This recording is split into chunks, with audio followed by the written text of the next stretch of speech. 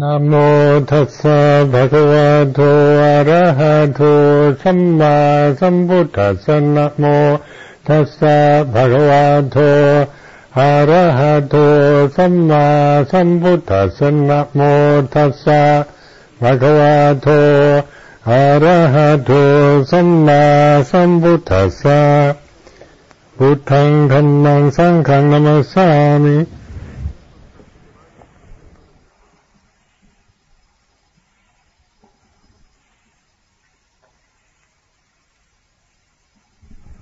This is the last uh, evening. Tomorrow the finale of this retreat and the uh, you take the five precepts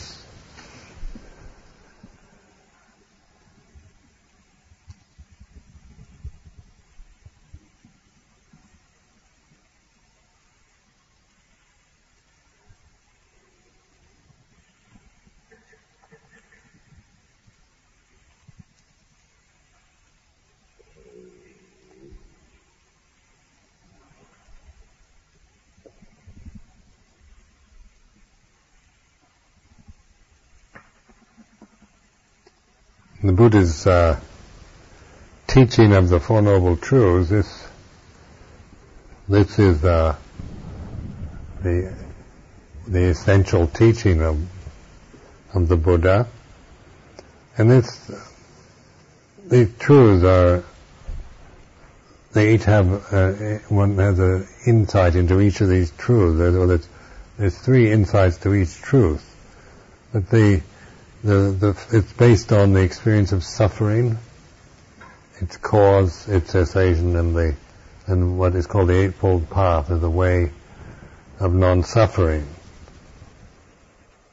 So that it uh, states the the make it proclaims this that there is suffering. There, this suffering is to be understood.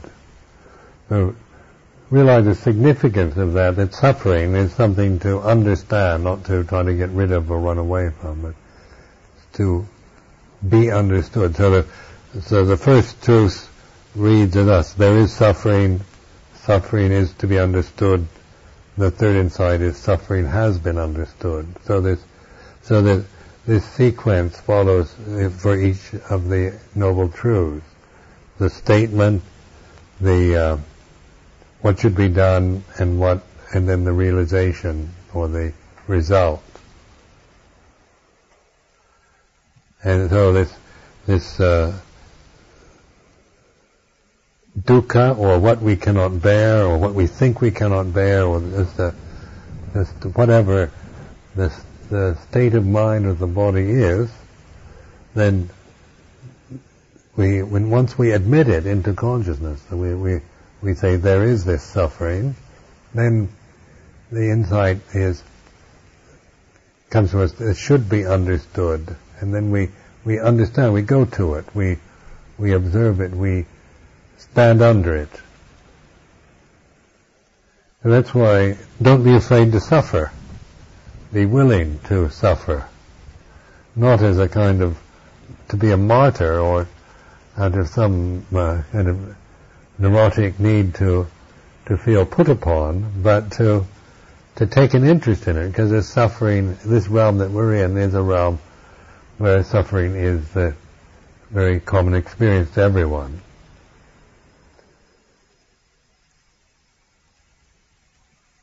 Then the second noble truth is there is a cause of suffering, which is the uh, attachment to desire.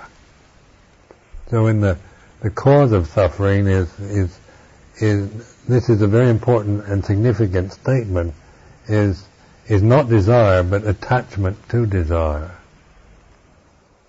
So that the desires we have when we attach to them, that's the cause, the attachment of, to things, is the, is the cause of suffering. So the insight is suffering should be let go of.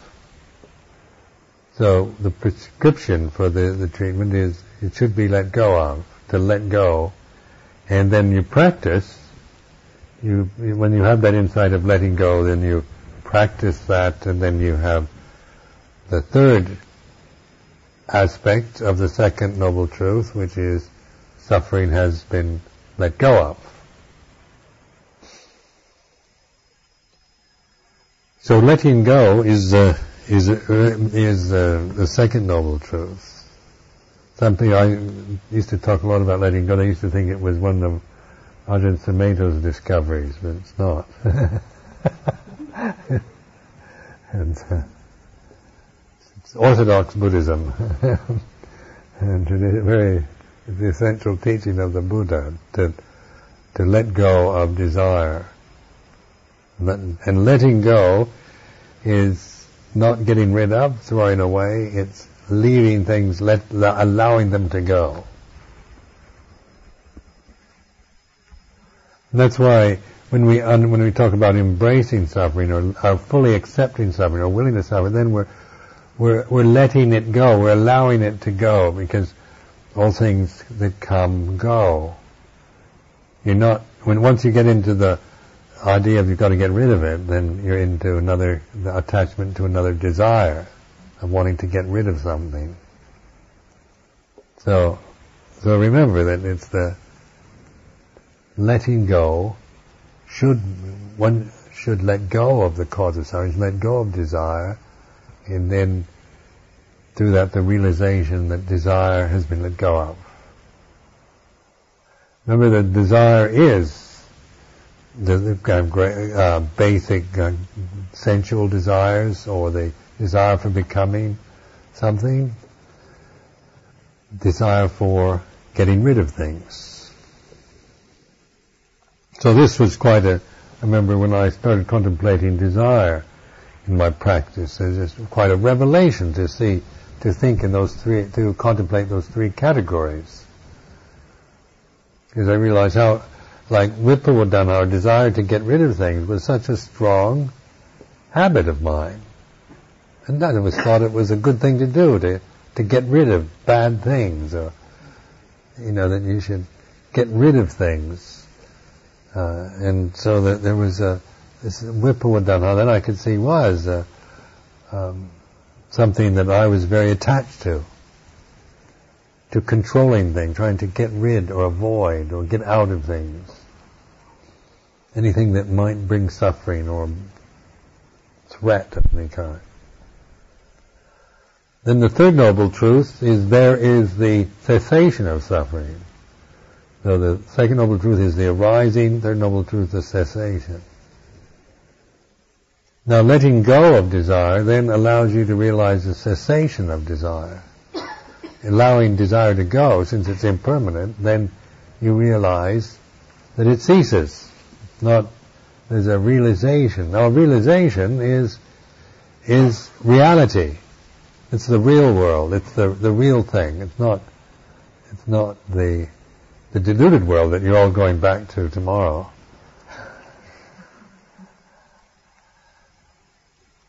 The world of delusion, but the the realization is is is reality, realizing the cessation.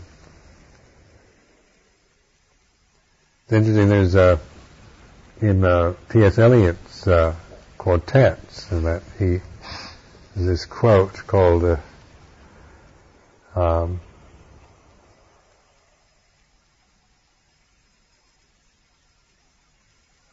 curiosity searches past and future and clings to that dimension, but to apprehend apprehend the intersection of the timeless with time is an occupation for the saint. No occupation either, but a lifetime's death in love, ardor, selflessness, and self-surrender. That's a poetic way of describing the Third Noble Truth. now the, to apprehend the point of intersection of the timeless with time is, is what the third noble truth about.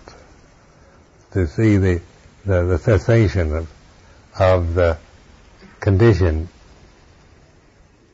to the unconditioned, or the, the point of intersection of the timeless with time. These kind of expressions are you know, this is this is this is a this is always going on, but we don't see it, we don't notice it, because in the say the ordinary life of a person, one is just caught up in in in the arising conditions of life and avoiding the the other side.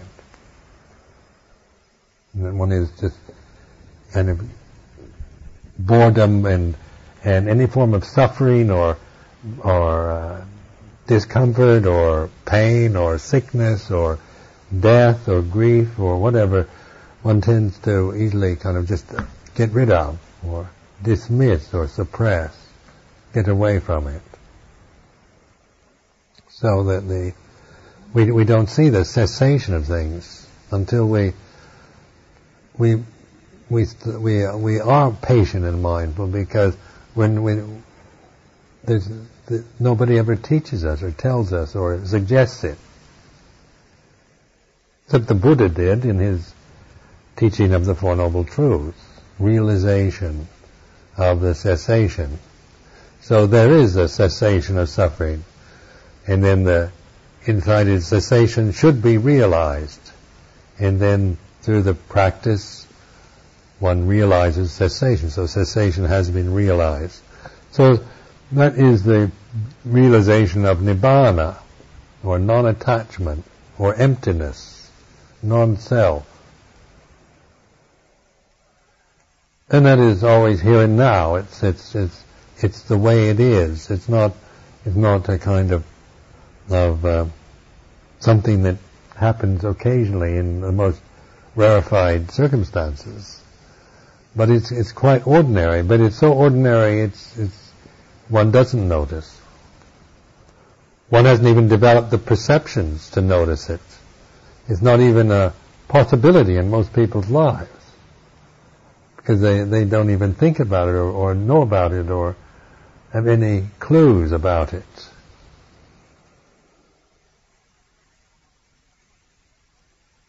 But that uh, realization of the third noble truth then establishes right understanding, which is uh, the Eightfold Path is based on uh, right understanding or perfect understanding. So in the, the fourth noble truth, which is the Eightfold Path, the, the insight from the first three truths, the suffering, its origin and cessation, then there's this perfect understanding of the way it is. It's a, but it's not like it's not, it's not uh, fantastic or or extreme. It's perfect understanding of of just that simple pattern that seems insignificant or, or totally, or most people totally unrealized. We can only realize things on a very subtle and simple level as human beings. We're not God or something that can see the whole macrocosmic universe from from the top. We have to learn from just these, the insignificance of our seeming insignificance of our life. This little old me, nobody, with my thoughts and feelings, the way I am. You know, just an ordinary guy, really, just uh, one human being in how many, 60 million people here in Britain, or 5.4 billion on the planet, just another another human. But it's in this state of our humanity we learn, we can learn ultimate reality, we can realize ultimate reality. But it's in a very simple form, an insignificant form. It's not it's not macrocosmic and absolutely fantastic. So this is why we, we can see it within our own mind when we're mindful. We can see it in very simple things. Uh, and, but yet the human, human mind is usually conditioned to only notice things that are extreme. You know, see things on a, that, that are really very noticeable or very uh, obvious, very exciting, very uh, unusual. Right understanding or perfect understanding, samadhi, samma sankappo is the second is the second fold of the eightfold, which is uh, translated as right intention or attitude. Because from that perfect, perfect understanding, that perfect, that, that, that understanding couldn't be more perfect. You've reached perfect, you can't get better than perfect. Then the intention of the mind is, is, is also perfect. You're intending, you're, what, what you're, you know, like you're, what you do, what you aim at, what you incline to then is, is, is perfect. And so the, then the uh, third is the uh, perfect speech, the fourth perfect action, fifth perfect livelihood, or usually translated as right. I'm using perfect tonight. So this means that the right, perfect understanding, perfect, perfect intention, then we, that implies how we live our lives in, in a physical way or verbal ways. What we do with ourselves. How we live our lives uh, with, with, the with speech. Because we speak, we have to, we live in a society, we talk to each other and action. We have to live, and make a living, and, and act upon things. So we we do things with our bodies, and we have to make make a living to support families or survive, make money in order to buy food or whatever. So this is this right understanding takes us to this right way of living, or perfect way of living, which then of course, is uh, the sixth, seventh, and eighth are perfect effort, perfect mindfulness, perfect concentration. So they have this, the, it's like the, the right understanding or the perfect understanding is the wisdom faculty. And the right or perfect speech, perfect action, perfect livelihood is the is the moral positioning, and then the uh, perfect effort, perfect mindfulness, perfect concentration is the samadhi. Because when these these are integrated, then your your heart, your emotions are balanced. Perfect uh, samadhi, uh, perfect concentration. It's not like you're not a concentration that blocks you off. It's a it's a full concentration of openness. It's not a concentration on something, it's a concentration that is open and receptive. So that there is this eightfold path. This path should be developed. So the, the insight into cultivating or developing this way. So it's a, a lifetime's death in love, ardor, selflessness, and self-surrender is the Eightfold Path. Lifetime's death. You're letting things die in you all the time. You're, you're, uh, you're, you're letting go of things. You're letting your personality and, and all the, the things that you, you identify as being you and alive, you're, you're letting them die in you. It's a lifetime's dying in love, ardor, selflessness, and self-surrender.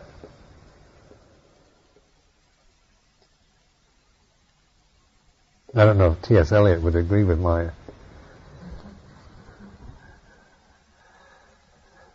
but that's how I, I interpret it. The um,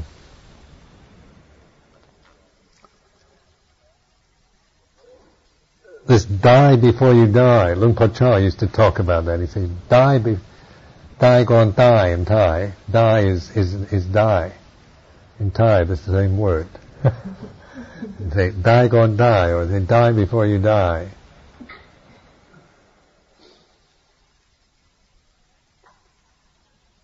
And in uh, Shakespeare, they also, he says, and death once dead, there's no more dying then. And one of his sonnets, he uh, uses that uh, image. So in the in the uh, in dying, say this this letting things go, letting them die. Sometimes you feel it. You feel. Remember going through periods where where I was. Uh, I felt I was dying. It was kind of frightening uh, because uh, on the level of emotion, there one felt terrified sometimes because you felt you're dying, I'm dying, and and and, and this uh, sense of death was was frightening, and there was a desire to live. I want to live. I want to, you know, be alive, and the emotions would would would really be quite reactive in that way. But if you don't get fooled by that, don't uh, don't get get taken over by your emotions, then you let them you let them go and they die. And what remains after death is peace, calm, clarity, purity. And you, you, you, you realize the true nature of things, the deathless reality, which isn't trying to, to stay alive or trying to, it's not hysterical, it's not, it's not, not fear-ridden, not uh, anything, uh, uh, that the, that these death-bound conditions that we identify with are, are delusions, and, and they and that's why we, when we, when we identify with death, usually people think they're identifying with life, but they're identifying with death. For example, if you, if you think you are your body, what's your body? Where's it taking you? Into the crematorium. And that all of us, in hundred years, maybe none of us will all be disappeared,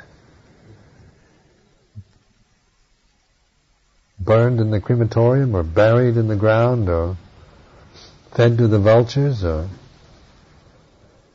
thrown into the sea, or whatever. all these bodies. So, so the, the, the attachment to the body is an attachment to death. And yet we can see it as attachment to life, but it's, that's how deluded we are about it. When you contemplate it, you see that, that, it, that your identity with your physical body is, is an identity with death, not with life. Or say your, just your emotional nature, which is, which can, you know, be very strong and emotions like always have you know, such kind of urgent quality and kind of overwhelming quality to them sometimes. And the emotions, but they can change. They can, you can, you can feel high one minute and depressed the next. Manic depressive. You can just go manic and then the next minute you can go down into the depths of despair. Emotions are, they can be screaming, say, this is important, eh?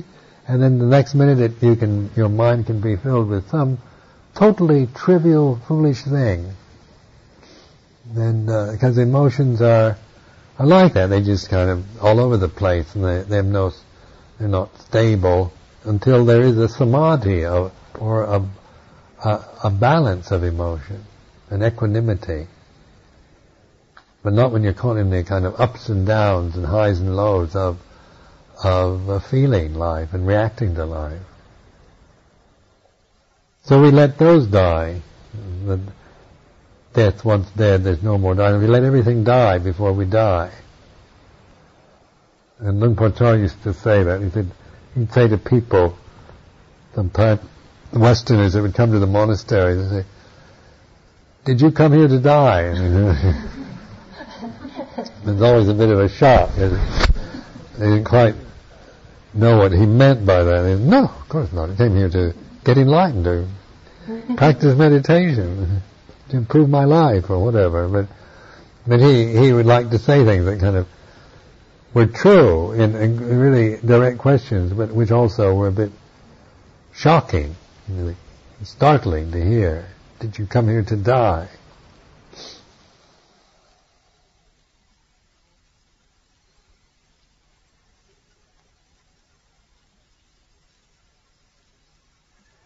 In the practice then, when we see, like in daily life practice, when you're, when you, say, go home and return to the, the ordinary life, these are good images to reflect upon and to, to not, not to, you know, not to uh, make problems about your daily life, but to, to be more open to what you're actually doing and, and uh, to, to observe the, the kind of force of habit, not, not as a criticism, but a more willingness to watch yourself and, and observe rather than criticize. There's no need to go to get all critical about how, how you should be more mindful and you should be less selfish and you should do this and do that and, uh, because we we have that. We always got this kind of inner tyrant always nagging away anyway telling you you're not good enough you should be doing something. So uh, uh most of us I'm sure have we're not going to you know, our problems lie in oftentimes in, in that we have we have such a strong will and, and, and a kind of obsessive tendency to do things and a, and a very and, and standards and ideas that that make us very critical of things of life. So we we begin to, to, to make the determination to just watch and be more aware of, of this to really not be afraid of feeling life, but to admit feeling, to, to notice it, to contemplate it. And to, to just observe how you live your life, not to, to in order to understand yourself and, and the way of letting things die and not just always uh, say running around trying to, to be caught up into into things that are arising. We're trying to be reborn again in some some new interesting thing, some new relationship, or some new profession, or some interesting hobby, or go on interesting adventure. Make life interesting. Because inter- wanting life to be interesting is is a desire, isn't it? To always have something interesting to distract you because you can't take boredom. Boredom you're just averse to and and you, you feel dead or you feel your life is worthless or you know, unless you're making it really interesting. So we, you know, in, in modern, with modern technology, I, I read about all these kind of, these, uh, kind of things that they have now, which is called virtual reality. Amazing, what more kind of deluded pretenses to distract your mind. they all sound very, you know, tempting and attractive. You know, to be able to connect yourself up to a machine and kind of go into fantastic state of uh, that seems real. I mean, it's. Uh, but that's how, how our society. That's the aim of our society, isn't it? It's like that. It always is trying to increase the delusions, make them more convincing, more totally absorbing.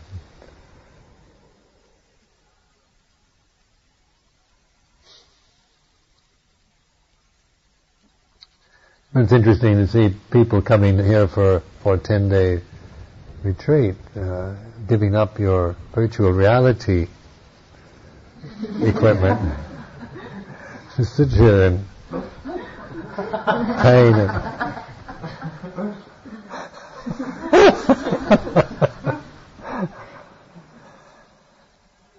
this is a, there's hope for us because because you can see something in us doesn't really want that, do we? I mean, it, it, we don't want to live in a, a, world of delusion, even though it might be interesting and kind of mesmerizing. But basically, when it stops, then you you feel totally kind of stupid and empty, and, and not empty in a in, as in uh, uh, through realization, but a kind of like a meaningless purposeless uh, life, just to seek pleasure through your body and senses, uh, it makes life uh, worthless. You're just trying to use your body or the senses and the, the mind just for pleasure seeking and distraction. At the end of the day, you're left hating yourself and feeling uh, that life is uh, just totally meaningless and become suicidal. It's interesting to see how how sitting like this, learning to concentrate the mind, develop in a skillful way, how and how we begin to to develop something, a, a, an intuitive sense, an inner sense that, and develop that, uh, which is which is getting taking us beyond just the the personality we have or the or the uh, assumptions we make about ourselves and the world we live in. We're tuning in to the deathless, to the amata dhamma, to immortality, to ultimate reality.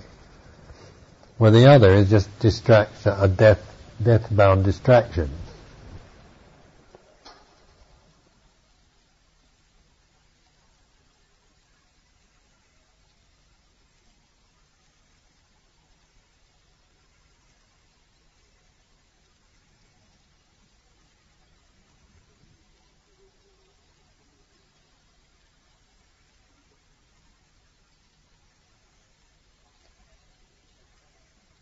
Dying before you die then is when you're seeing when you're allowing things to cease in your in you in your mind. Sometimes you do you do have a feeling of death, of something of lo- of loss or death or even grief. But if you bear that, and uh, then it takes you to peace. And in Thailand, when when somebody dies, the people usually call the monks, and you chant this very short Pali chant, which goes anicca vada sankhara ubattava yattamino ubachitava niruchanti de sang upasamo sukho. And this translates as anicca vada sankhara. All sankharas, all conditions are impermanent. They arise and they pass away, and in their passing is peace. And so this is this is what every Buddhist in Thailand, when somebody dies, and they the monks are brought in, and you chant anicca vadasankhara but when you contemplate the, the corpse, the dead body, and and you're saying to and you're and you're reflecting on it. This is what happens. All conditions are impermanent. You're, you're noting. Here's somebody, you know, people are grief uh, stricken. There, maybe their mother died or something, and they're they're feeling sorrow, and you're and you're reflecting. All conditions are impermanent what arises passes away, and in the passing is peace. So this this is a a very beautiful reflection when somebody dies.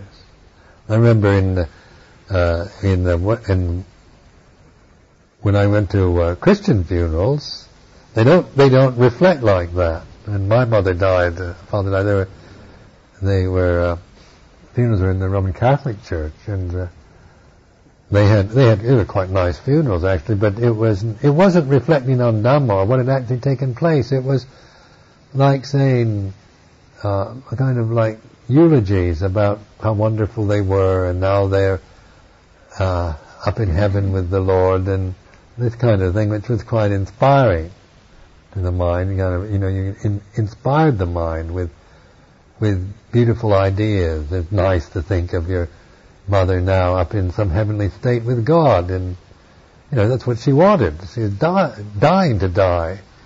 She wanted to go and up and live with God in, the, in heavenly bliss forever. So it's nice to to think of that. That's inspiring the mind, isn't it? But it's not really. It's not contemplating the way it is now in the present. And so and, and, and, I noticed this, we didn't in these funerals, Christian funerals, we didn't, weren't contemplating what actually happened. We were trying to avoid mentioning it and, uh, and talk about things like how wonderful they were and, uh, and then how we will miss them and how that, but now they're up in heaven and, and with eternal happiness. but uh, and we they they didn't open the coffin. You didn't look at the body or anything. You weren't willing. To, there was no kind of effort to bring attention to what what that that we that what death really is. We don't like death is something that we're all going to experience, but we don't know what it is because we're alive. And we're we're now experiencing life in the in a in a conscious form. Death of the body is uh, is in the future for us, isn't it? Right now, say when you think of death, the subject of death comes into your mind. You know that's going to happen in the future, the death of your body. I hope it's not going to happen right now, anyway. but the but to, to die before you die is to observe the ending of things in your mind, of the desires and fears and uh, that, that, that, that arise, that uh, come up in your consciousness, and then you can let them, allow them to go. They, they cease, and that's that's death. That's die before you die. So in the, the cessation, like third noble truth, realize the cessation. You're realizing that what death is that it's just the ending of something that began. That's all. It's not, it's not any more than that. It's just the begin, the end of what began, or the death of what was born. And so, when you, when you contemplate that, and take it to, to real insight, then you realize there's nothing to fear, that actually we don't, we don't really die. Bodies die emotions cease. Uh, only things kind of, that which begins ends, it's just the way things are. But we begin to have the intuition into deathless, into deathless reality. They're ineffable to be experienced individually by the wise. Vajjitang Veti Dapo Vinyuhi in the chanting the reflections on Dhamma.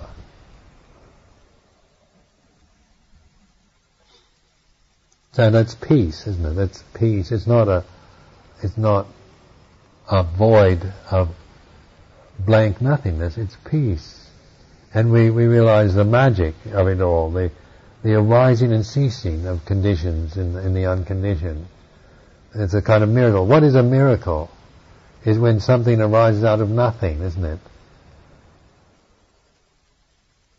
We think that's a miracle for us when something comes out of nothing. And yet that's what's happening all the time. And that things arise out of, condition arises out of the unconditioned and ceases and it's like, it's all a miracle anyway.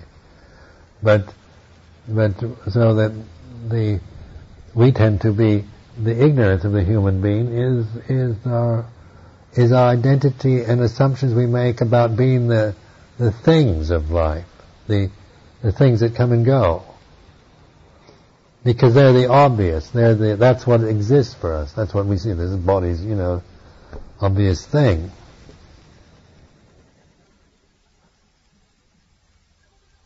And if we if we just keep to a gross kind of sensory uh, level of of perceiving things and, and without reflecting and going deep into understanding, then of course we live our lives always in in the assumptions of I'm the body and I'm my feelings and and then the and that brings all the fears and anxieties of life which are around death and loss and humiliation and not getting what you want and getting diseases and feeling pain and and all the rest is just so much to worry and potential misery in this human state that uh, if if we don't if that's all we do is is get stuck in the in the identity with this with the conditions of body and mind then then that's the dukkha the first noble truth. That's why humanity suffers. And it, here in Britain, you see a lot of suffering among people who have everything. Not like the unemployed or just the unemployed or the people in the Sudan starving to death. A lot of real misery exists in in in very wealthy, affluent homes, and it's and that's because of you know of that's the natural result of of ignorance, not understanding Dhamma. So so having wealth and all the best that life has to offer isn't the answer. It isn't going to be satisfying to us. We used to maybe think it would.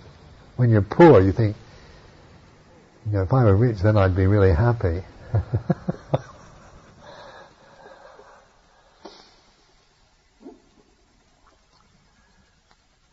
then when you get rich, you find out not happy. that is, uh, that sometimes you have to, you know, poor people think that uh, that we just say that because, or think that rich people say things like that because uh, it's kind of, you know, to keep that keep it all for themselves, and and and talk about the one, the, you know, that poverty or being poor is is all right. But I remember in India when I was in India in '74, the, the uh, I, I, in those days there were a lot of the untouchable caste Hindus converting to Buddhism, and so you get the in 1956 one of the great Indian leaders who was from the untouchable caste converted, made a public conversion in India, became a Buddhist, and advised all the untouchable outcasts in people in, in the Hindu religion in India to become Buddhists. So since 1956, there's been these mass conversions. And so I was very sympathetic with all this. And, you know, as being a, a kind of character that I am, you're always kind of sympathetic for people, uh, for the underdog, for the, for the poor, or the underprivileged, the ones without privileges, or the people that have been mistreated by life. Always, you know, reaches your heart. So I thought, well, maybe I can help these people. And uh, so I started going to things, getting involved with them in, in India, and uh, and I realized I was getting really in a difficult situation because these people were they wanted, I mean, they had, they'd been badly treated, admittedly, but they were also, they wanted civil rights, they wanted equal opportunities, they wanted all the things that, let's say in America, you know, everybody has, but still people are miserable. you know, so, you know, you, remember thinking, you know, they have, they have, we have all that, all those things, and uh, yet, so what? Still get depressed, want to commit suicide, and can't bear life. so, uh, but then I saw that, that that maybe that's what they have to do. That's where they are. They need to try to get those things, and not to put that down. And it's good to have, you know, to move towards more fair uh, economic and political systems, not not knocking that. But I realized that, that I wasn't interested in that. And that, uh, because I already had it. So I was ready, you know, that was, that was nothing that I was, uh, that I felt deprived of in my life. But what was really missing was, uh, you know, what I felt deprived in my life was uh, the the emptiness of it all, the meaninglessness of it, and so the the attraction to the Buddhist meditation and uh, could really appreciate the Four Noble Truths. When I talked about the Four Noble Truths to most of these people, they didn't, they weren't interested in suffering. Not at all. And it was a very political movements. In I was in those days, 1974 Americans were persona non grata in India because uh, Indira Gandhi was the prime minister and Richard Nixon was president of the United States, and they hated each other. And and Richard Nixon was selling uh, uh, kind of jet aircraft to Pakistan, you know, warplanes. So so that that uh, you know you felt you felt quite vulnerable being an American traveling in India in 1974. And uh, and then I, I was, I remember in, in uh, Kanpur, the, the city, industrial city of Kanpur, I was there, and I was asked to give a, a talk, a Dharma talk to some, to these people. And so I went, and, and uh, there, were, there were thousands of them in a public park, all waiting to hear me give words of wisdom. They put me on a kind of platform with a loudspeaker system, and and, the, and this uh, Indian man was going to translate into Hindi. So, so I'd say a few words, and and then and then this this Indian translator would go on for quite a long time, and he was very kind of dynamic and gesticulated, and I after you know a while you're going to wonder what he was saying, and at the end of it, at the end of this evening, I found out that he had misrepresented me totally and had and was using me to put down the Hindus, the Brahmins, the Vedas, the Upanishads. I'd condemned it all.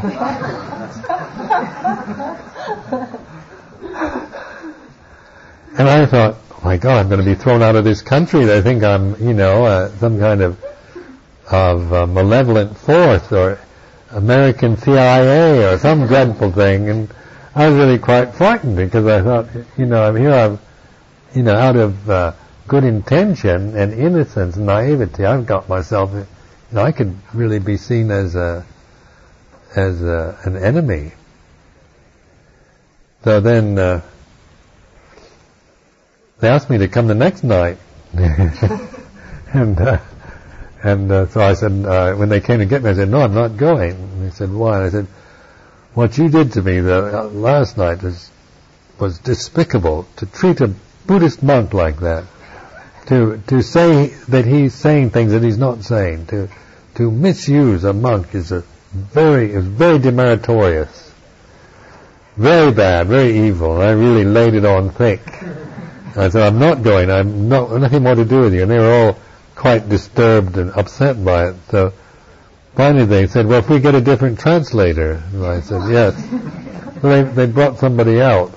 And, uh, and I talked to this man first, and he seemed quite honorable type person. So when, then I, then I went back, and I tried to set them straight, you know, saying that, uh, that the Buddha didn't teach uh, hatred of any sort, or was not, the Buddhists were not against Hindus or Brahmins or anything like that. They were teaching, uh, and I tried to give this about the Four Noble Truths.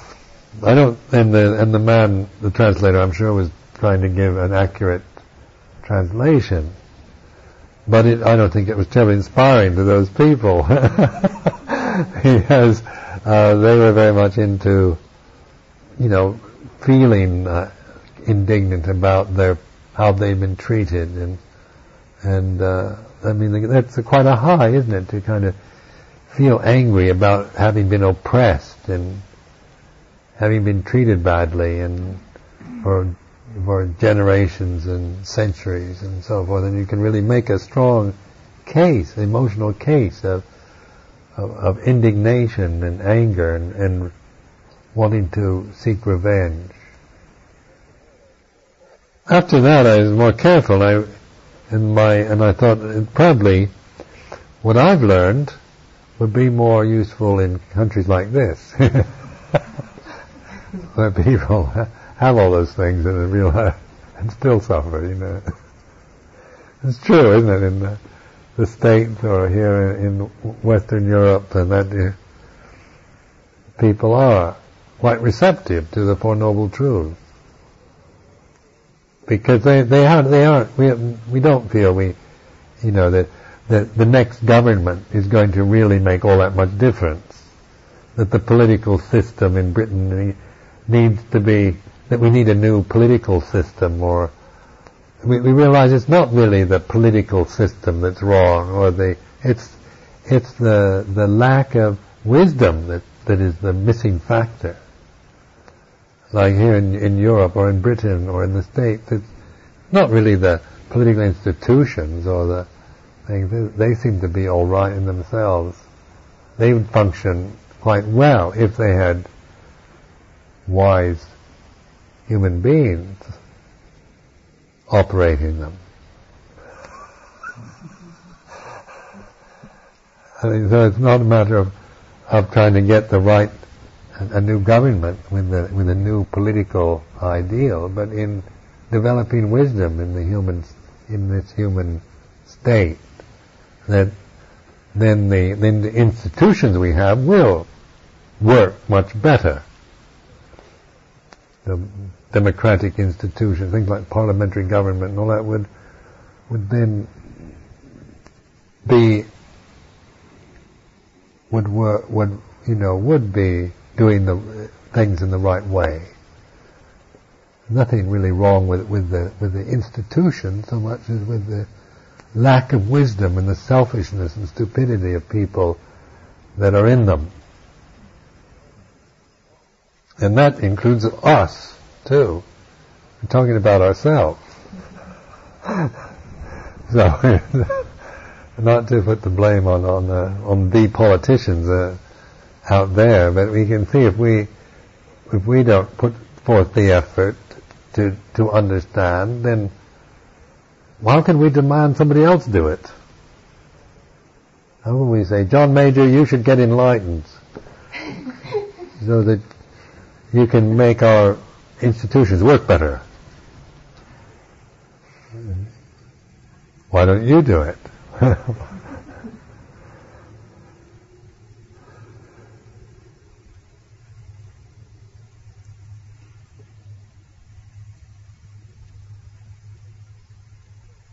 the aim of the, the, the, realization and the insight into these noble truths, then it, it is a lifetime uh, practice in this form, this human state. It's not something get it, get it, and then you just kind of live in a state of rapture and bliss the rest of your life. But you realize that you're you're always dealing with with the problems and difficulties of, uh, of your own karmic, of your own karma and of the world around you.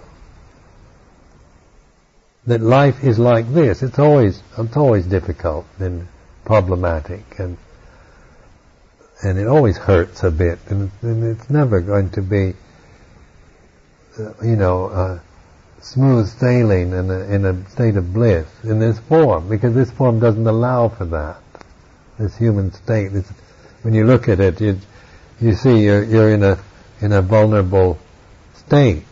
That it has a lot of pain, a lot of discomfort, just naturally a part of the of this karmic predicament. It's just the way it is. It's not not wrong. It's not like it. It's something wrong about it, but it is something to to understand. And then in the in the with ourselves, with the people we live with, we we begin to to accept things more and more what they are, like uh, trying to wanting people to be something they're not. And that we, I found a lot of suffering in monastic life when I wanted bhikkhus and nuns to be something that that I didn't think they were not wanting them to be what I think they are, thinking that I don't like you in this, that I want you to be something else.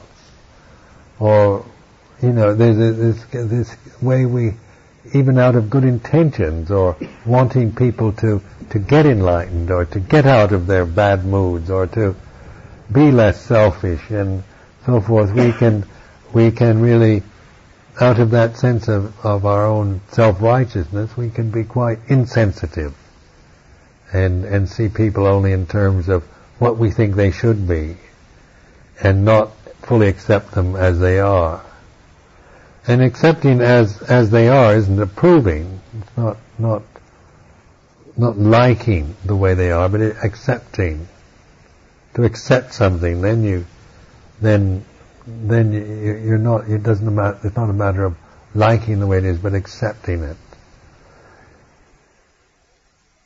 And in that, then there is more possibility for change and, and for change in the right way. When people feel they're, they're accepted, and when you accept yourself, and not just hate yourself or criticize yourself because you're not what you think you should be, if you get caught into that, then then we we only become critics and, and complainers, grumblers about ourselves or about the world. And that is of no benefit to anyone. Just living with a group of people grumbling is, is hell, isn't it? Or you live with your own grumbling mind. I don't like this, I don't like that. And then you live with people around and they're grumbling about the weather, grumbling about this, grumbling about that. It's awful. You know, to, to, to just spend your time complaining. So in, uh, in, in, uh, understanding things there, we, we feel it and we, we accept the difficulties and the problems and the irritations, frustrations of, of this realm.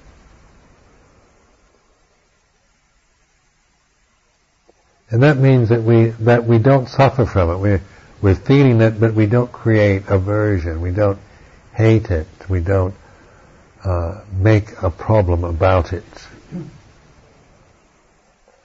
Then when we when we develop this this more kind of metta-like attitude and and more, uh, an acceptance of ourselves and others, and things do seem better.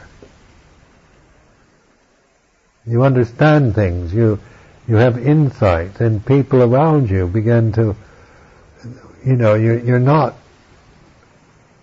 reaffirming their own misery or their own inadequacy, or or you're not you're not kind of imposing, I'd like you better if you were somebody else, which is really quite cruel, isn't it? You know, I could, I'd be, I'd like you a lot better if you were what I want you to be, is what we say. Or, or I don't like you the way you, I mean, I remember with, I had this clear insight with Ajahn Chah because when he had his uh, stroke and he was uh, paralyzed for 10 years before he died. And uh, couldn't speak. He was conscious, and uh, and he, uh, you know, but he couldn't respond in any way. He could kind of gaze at you, stare at you with his eyes, and he could wiggle his toes. It was the only way you knew he was listening. So, so for ten years the monks took care of him till he died uh, last year, and the uh, I remember when I heard this uh, that he'd had this stroke, and uh,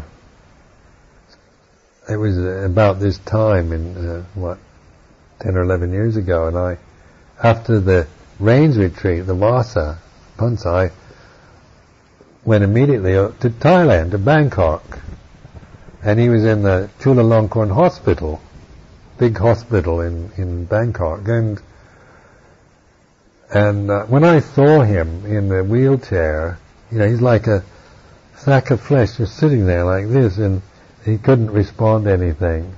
And you had to, they had to feed him and, and take care of him in every way. And of course, he would, he'd before been a very kind of, a very charming, uh, charismatic person. And uh, he was very lively, had great humor, and you loved being around him. You, you people loved him. He was such a attractive and and uh, loving person. And then suddenly, you go look at this sack of flesh. It's not very attractive, and he's just sitting there drooling and can't do anything. And all you feel is this incredible sorrow. And then you then you can see yourself wanting, I don't want you to be like this. I want you to be like you were. A feeling of, I don't like you like this. I want you to be the Ajahn Chah I used to know. And then you kind of, kind of contemplate this, you know, this, this, this selfishness of, of uh, I don't like you uh, sitting in this wheelchair, not being able to laugh or talk or entertain me, and, and just sitting there like an idiot, drooling on yourself. And it's disgusting. I don't like it. And you listen to to this, you know, and, the, and you could see many people think, we've got to take him to this place for treatment, we've got to get him back so he's healthy again, and everybody kind of rushing around trying to, to, you know, do things to, to, to, so he would get back to the way we want him. But nothing, it became, realized that there was nothing you could do. So then the insight was that one was grateful to that he was still alive and and to to uh, express our love for him rather than expecting him to pop back into form and to please us, which is a more mature kind of way of looking at it, isn't it? No, where, where the childish one is, I want you to, you know, I, I want you to, you know, to be the old charming teacher of you know, where you can sit around and talk and laugh and want to be entertained. I want that. And then, then we had to change. We had to give to him. We had to take care of all his needs, things like this. So it was like a, a growing up, something in you no longer uh, would expect him to to do anything, but just be there and one would do the best to take care of him, which is what happened. He lived ten years. I think anyone anyone else would have died much sooner, but he, he had such excellent care. Probably the best in the world. Uh, he had a, a very devoted, uh, I mean, people love monks, really, really loved to take care of him. So there was always, never any problem in getting monks to go and take care of him, and and that was a ongoing thing for ten years, day and night. He was never left alone, ever. He was. I mean, so when any anything happened, like any any critical signs, there there was always somebody around to do the right thing so that he he wouldn't die. But that insight was very meaningful to me to see the, the inner child or the, the baby or the, the one, you know, I don't want you like this. I want you to be the Luang Por I used to know. And then you realize they can't do that anymore. It's your turn now to, to do the right things. And one thing we can do is love people. It's not, you know, sense of love not in, in, uh, in its, uh, like infatuation or a way of liking, but in accepting people is a way of loving them, isn't it? Even though they might be pretty awful or pretty impossible uh, or difficult, uh, hating them for being that way is of no use to anyone, isn't it? It eats away, eats you up, and it and it also makes them just. It doesn't help them, people that you you're trying to, that you don't like.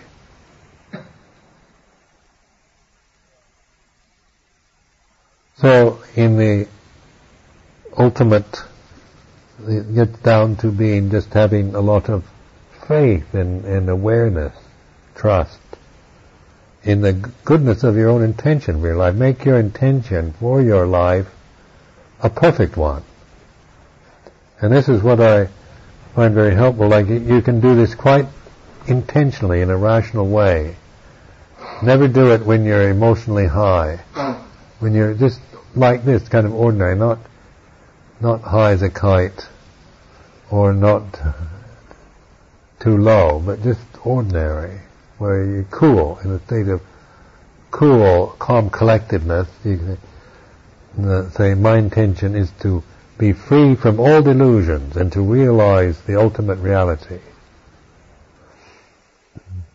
Now that's now now that is uh, what I advise you to do to make that intention.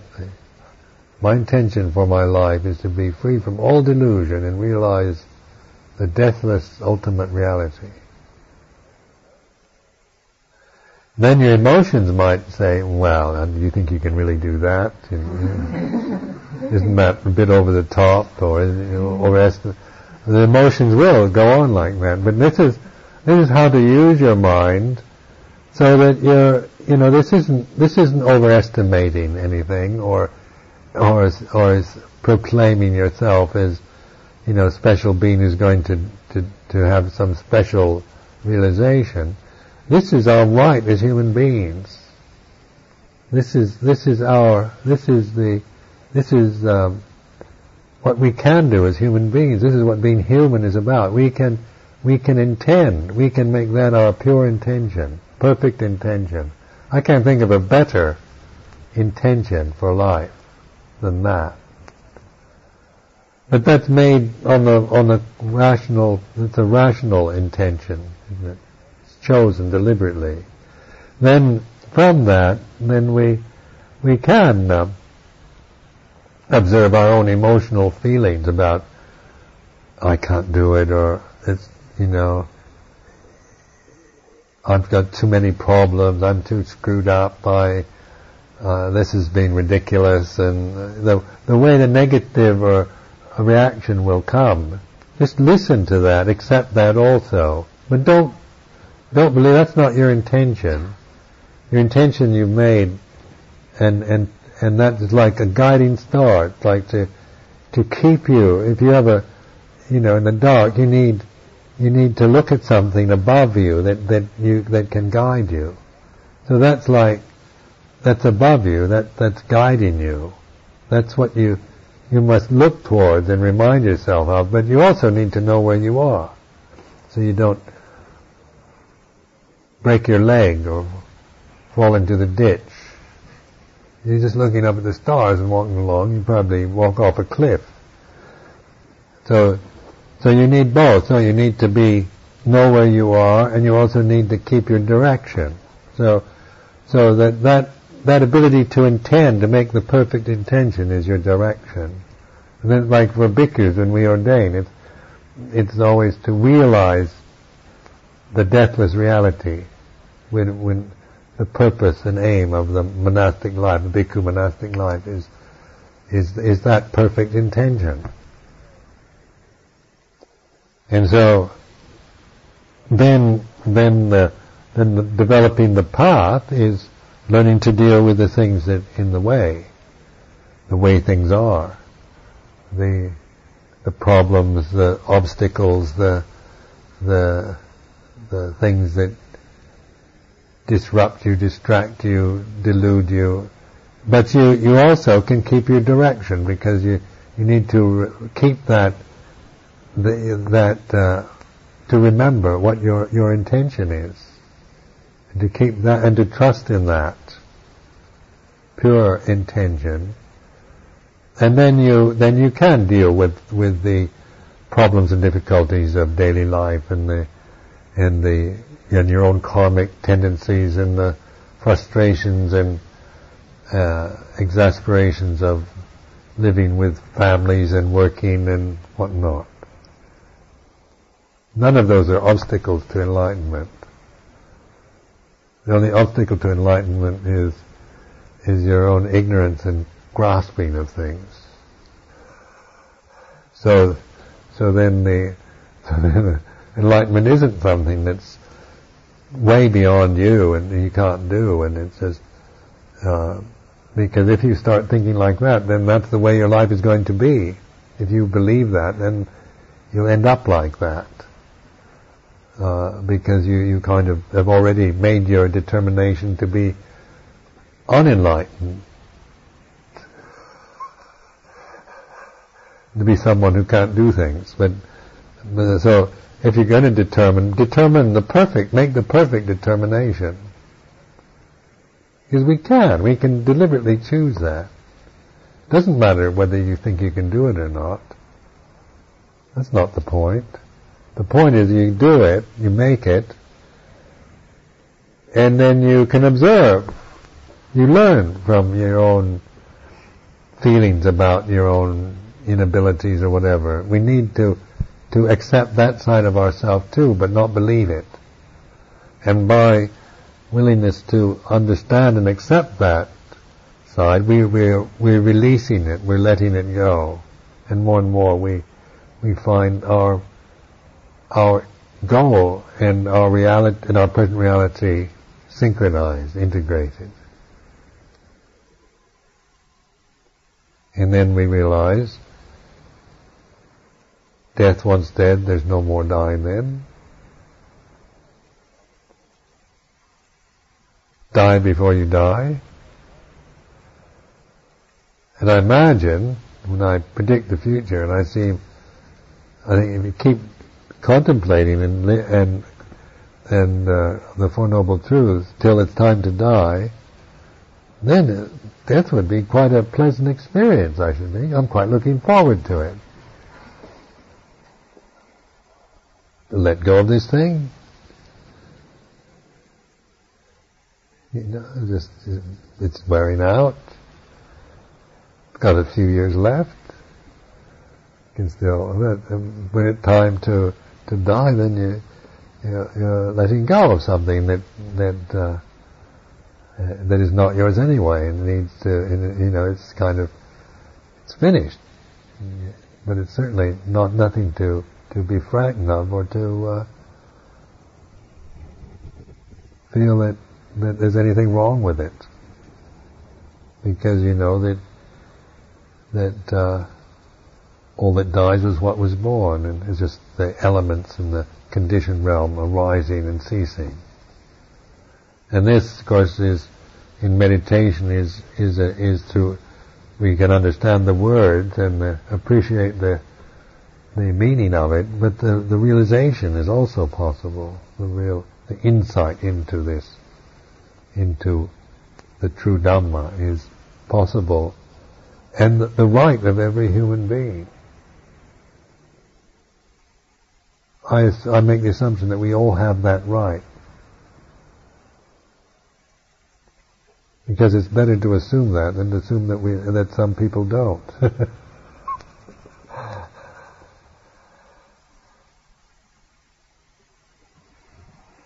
Amen.